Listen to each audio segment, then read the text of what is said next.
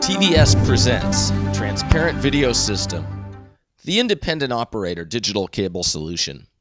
Starting at the head end, signals are digitized, multiplexed, and modulated on 256 QAM RF carriers. A 7 input ASI MUX QAM is available for digital satellite feeds. Alternatively, analog video can be input into the 7 port encoder QAM. The system meets FCC EAS and closed captioning requirements.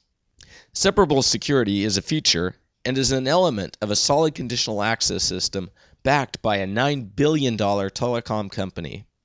A web browser accessible subscriber management system takes care of provisioning, service packaging, and the billing interface, allowing the operator to reduce costly truck rolls, add new services with a touch of a keystroke, and provide improved customer care.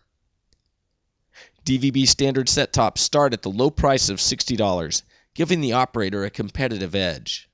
Single input set tops, as well as dual input standard and high definition PVRs, are available. The informative user interface, excellent video performance, and rapid channel change adds up to a high quality of experience. Designed to meet FCC mandates, TVS offers a competitive and cost effective system that is available today and is the ideal digital cable solution for the independent operator. For more information, please go to www.transparentvideo.net.